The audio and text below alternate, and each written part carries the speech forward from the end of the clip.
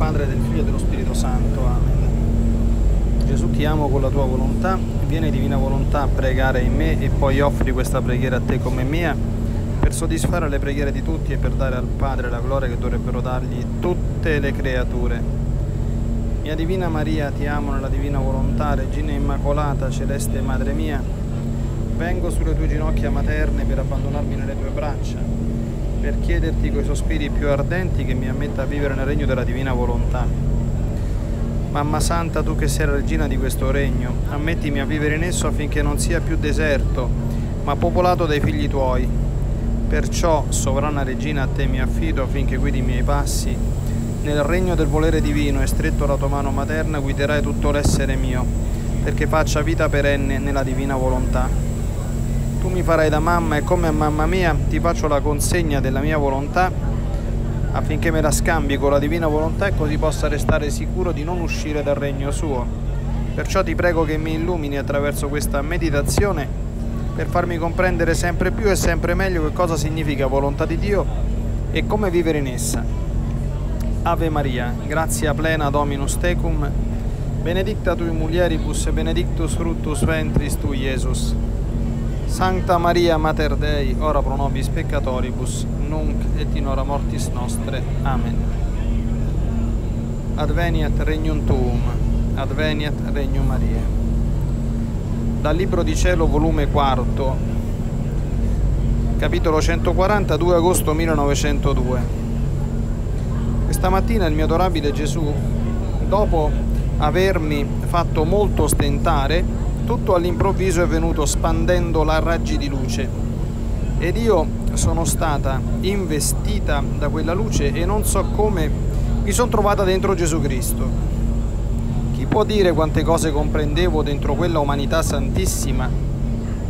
Solo so dire che la divinità dirigeva in tutta l'umanità e siccome la divinità in un medesimo istante può fare tanti atti quanti ciascuno di noi può farne in tutto il periodo della vita e quanti atti ciascuno di noi vuol farne, ora essendo che nell'umanità di Gesù Cristo operava la divinità, comprendevo con chiarezza che Gesù benedetto in tutto il corso della vita rifaceva per tutti in generale e per ciascuno distintamente tutto ciò che ognuno è obbligato a fare verso Dio, in modo che adorava il Dio per ciascuno in particolare, ringraziava, riparava, glorificava per ciascuno, lodava, soffriva, pregava per ciascuno.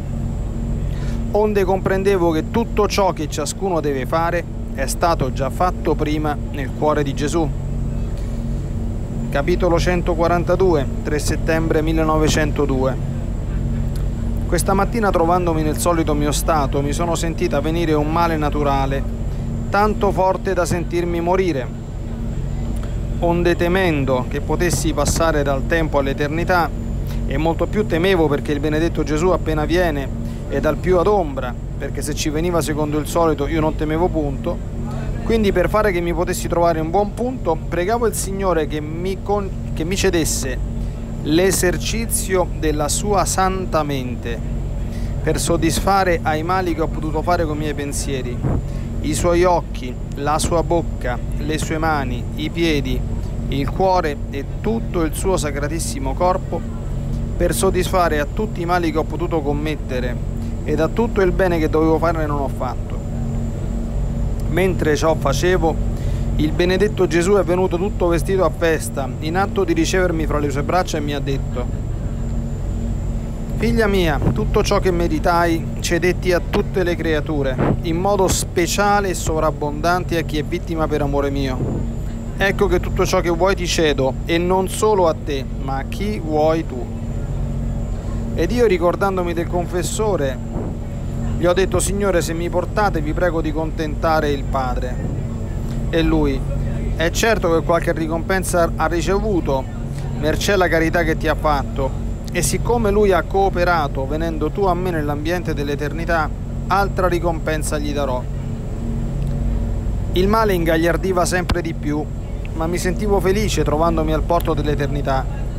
In questo mentre è venuto il confessore e mi ha chiamato all'ubbidienza.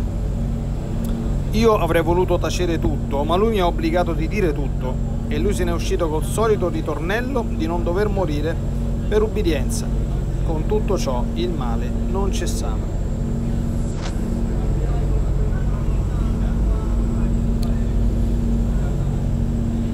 La meditazione di oggi, questi due capitoletti, sono davvero straordinari perché pur essendo nel quarto capitolo, Gesù qui introduce un tema fondamentalissimo per la vita nella divina volontà. E il tema è quello importantissimo dell'azione della divinità di Gesù nella sua umanità durante la sua vita terrena, ovvero tutti gli atti che Gesù ha fatto nella divina volontà e come spiega benissimo nel primo capitoletto, che è molto molto chiaro, stante che questa divinità dirigeva in tutta l'umanità di Gesù e stante, attenzione, che la divinità si legge in un medesimo istante può fare tanti atti quanti ciascuno di noi può farne in tutto il periodo della vita, in un istante, un istante è meno di un secondo. Cioè le operazioni di Dio, tutte le operazioni di Dio sono istantanee, cioè tra che lui voglia una cosa e che quella cosa sia, eh, non credo che il tempo, se vogliamo dire così, che passi sia misurabile da noi esseri umani. Cioè un nanosecondo è troppo. E allora noi immaginiamo la vita terrena di Gesù, che comunque dal concepimento fino a 33-34 anni circa che è morto, immaginiamo quanti nanisecondi si sono succeduti e quindi non sarà molto, molto, molto difficile rendersi conto di quanti atti ha potuto rifare Gesù perché Gesù ha rifatto tutti gli atti di tutti gli esseri umani presenti, passati e futuri sono tutti fatti in lui. Cioè eh, la, la parte finale, proprio l'ultima frase, è di capitale importanza. Tutto ciò che ciascuno deve fare è stato già fatto prima nel cuore di Gesù. Questa verità è stupenda. Ecco, qui ancora vedete, qui c'è l'illustrazione di questo, no? Però eh, Gesù ancora a questo livello della vita di Luisa non spiega le conseguenze importantissime di questa verità e che sono primo che noi possiamo e dobbiamo andare a prendere tutti questi atti da Gesù non solo entrando nel regno della divina volontà per quanto riguarda il presente e il futuro.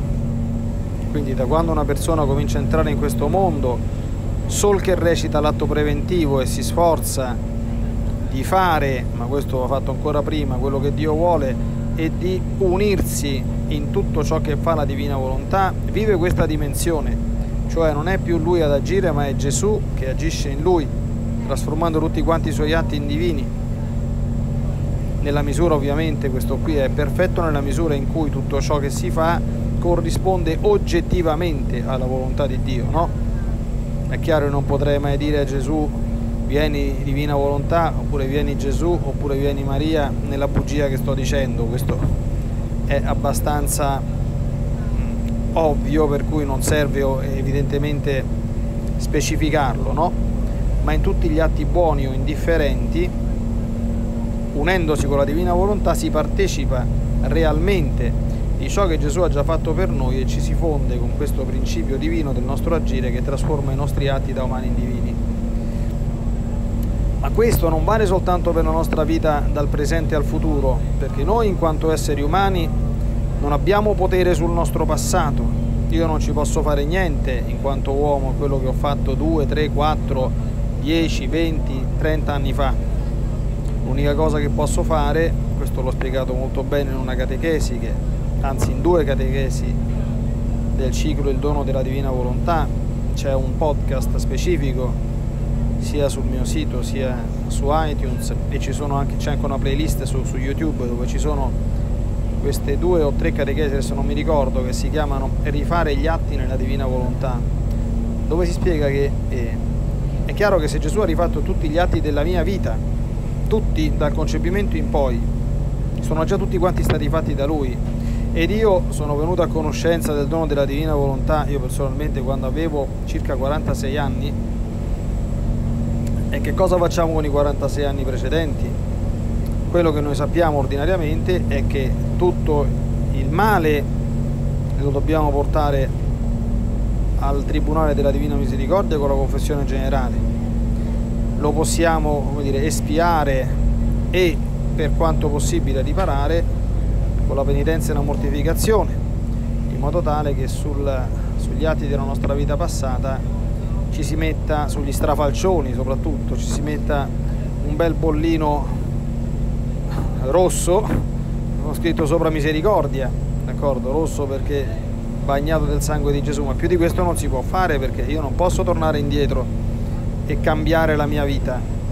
Ma attenzione però, posso compiere un esercizio spirituale nella divina volontà, che è una sorta di giro esistenziale in tutta la mia vita, e dire al Signore di voler rifare tutti i miei atti nella sua volontà. E questo lo si può anche personalizzare al massimo livello. Posso fare un esempio generico tanto per far capire, no? Signore Gesù, eh, mi fondo nel divin volere, entro in te e nella tua volontà eh, rifaccio quello che avrei dovuto fare, non lo so, in quella circostanza di dieci anni fa, in cui, per esempio, non sono andato a messa la domenica, oppure ho detto una bestemmia o ho commesso un atto impuro, sicuramente la divina volontà non era che non andassi a messa la domenica o che facessi un atto impuro o che dicessi una bestemmia. Non, non sto dicendo che l'ho fatto io, eh, sto facendo un esempio ovviamente generico, impersonale per far capire. Quindi se io mi vado a confessare dico chiedo perdono Gesù per le volte che non sono andato a messa, per gli atti impuri e per le bestemmie che ho detto. Il sacerdote mi darà una penitenza, mi dirà fai il digiuno, fai la preghiera, fai un'opera di misericordia, un'elemosina eh, proporzionata, eh? Eh, però quell'atto rimane nella mia esistenza, perché non si può cancellare. Ma quell'atto, eh, come dire, può essere, attenzione, completamente rifatto, perché Gesù l'ha fatto, Gesù la mia vita l'ha già tutta vissuta, ha già fatto tutti gli atti che dovrei fare. Ci manca che io ne prenda coscienza e che compia quella particolare operazione che è un atto di volontà, un esercizio spirituale, per mezzo del quale quell'atto diventi mio. Quindi tutte le volte che non ho adorato il Signore, qui si spiega, tutte le volte che non l'ho ringraziato, tutte le volte che non l'ho glorificato, tutte le volte che non l'ho lodato, tutte le volte che non sono stato capace di offrire una sofferenza, tutte le volte che non ho pregato, cioè, tutte quante le cose buone che non ho fatto e cattive che ho fatto sono già tutte quante perfettamente non solo raddrizzate ma completamente rinnovate, distrutte e risuscitate in quello che Gesù e con lui anche Maria Santissima hanno fatto per noi. Quindi qui Gesù gli spiega il fondamento, il prodromo, no? Fondamento di questo era la divinità unita all'umanità del verbo incarnato e in particolare la divina volontà unita alla santissima umana volontà di Gesù nella quale egli faceva tutte le sue operazioni e la stessa identica cosa l'ha fatta la Madonna. E poi nel capitoletto successivo, al 142, eh, Luisa comincia, si vede che aveva capito perché Luisa aveva la prima elementare, però era molto intelligente, quindi tutto era meno che eh, stupida nel senso etimologico del, del, termine, non nel senso offensivo, no? meno che quindi eh, priva di intelligenza. E allora che cosa fa? Prego, pregava il Signore che le cedesse l'esercizio della sua santa messa, della sua santa mente, scusate, per soddisfare i mali fatti con i pensieri, gli occhi, la bocca, le mani, i piedi, il cuore e tutto il suo sacratissimo corpo, per soddisfare a tutti i mali che ha potuto commettere a tutto il bene che doveva fare e non ha fatto. Ecco, qui ancora parla di soddisfazione, no? Quindi la soddisfazione è la riparazione del male commesso, no?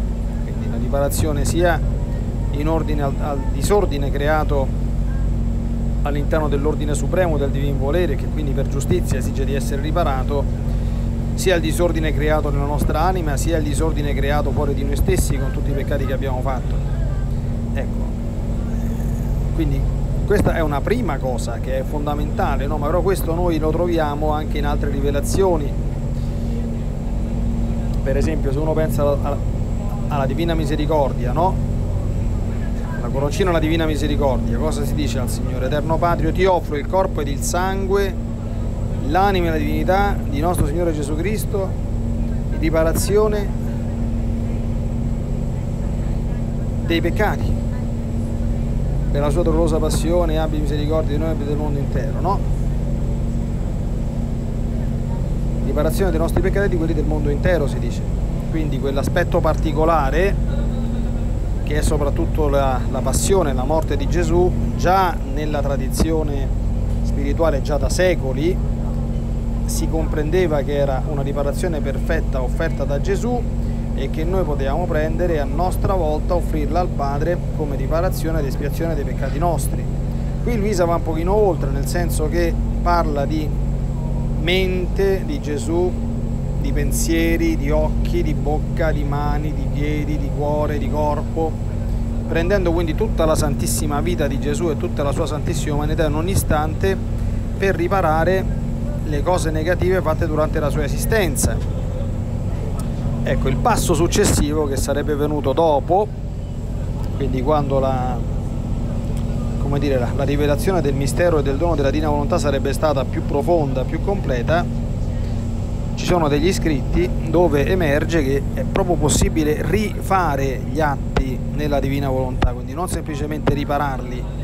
E questo è qualcosa di assolutamente bello e oltremodo consolante bellissima una cosa di questo genere, no? È davvero mm, straordinariamente consolante proprio. E se lo trovo posso, fare, posso prendere qualche piccolissimo esempio. Ecco, ne vediamo qualcuno.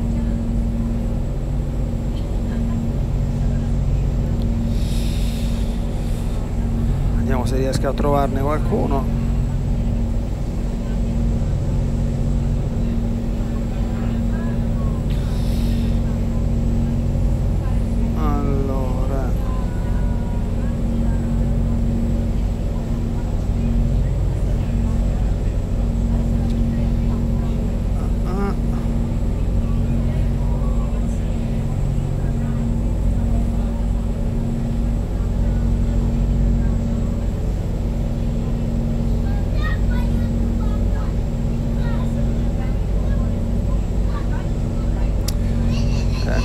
Momento purtroppo non riesco a trovarli eh,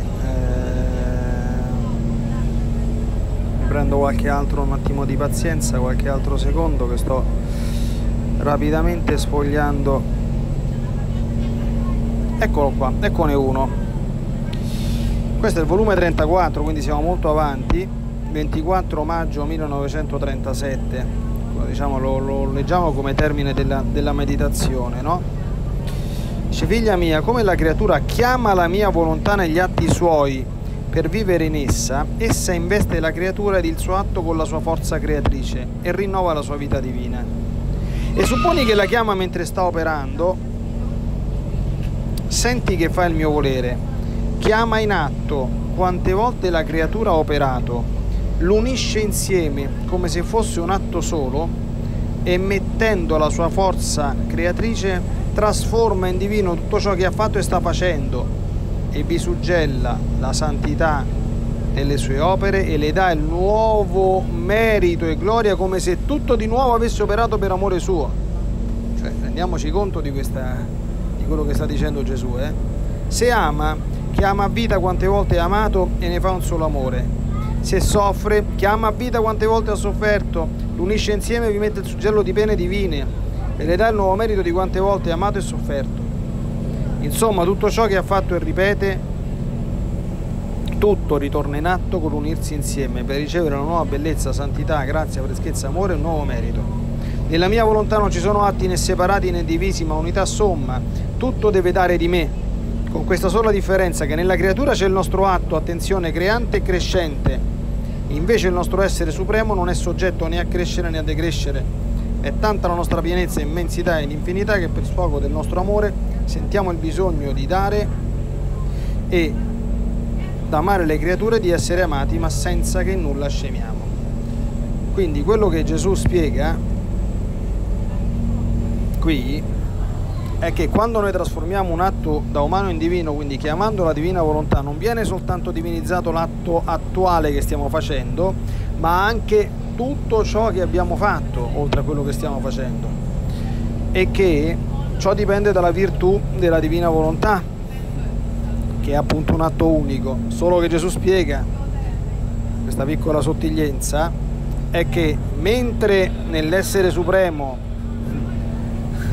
l'atto è unico e quindi non è soggetto a crescita o a diminuzione, invece noi sì, purtroppo. Nel soggetto, è sogge nel soggetto umano quindi eh, l'atto è creante e crescente oppure decrescente.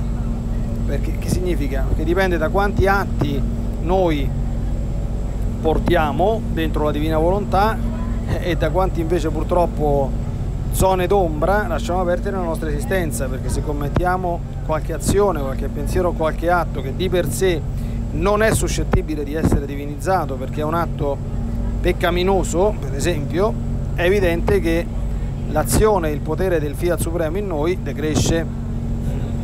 Ecco, questo è un piccolo particolare che bisogna tenerlo presente. Siamo andati molto in alto con il che si comprende anche come nei primissimi capitoli del Libro di Cielo, qui siamo ancora nel 1902, a volte il Signore introduce eh, delle verità profonde che poi avrebbe perfettamente e gradualmente disvelato nel corso dei lunghi successivi anni, quindi oltre 36 rispetto a come stiamo adesso, in cui avrebbe introdotto la sua piccola figlia della divina volontà nel mondo divino del Fiat Supremo.